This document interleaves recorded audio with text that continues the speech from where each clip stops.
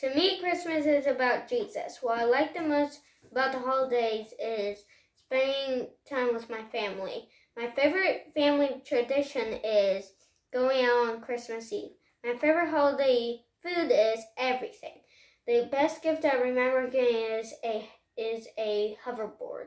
This year I hope I will get a 3D printer under the Christmas tree. Merry Christmas and Happy New Year. RIP!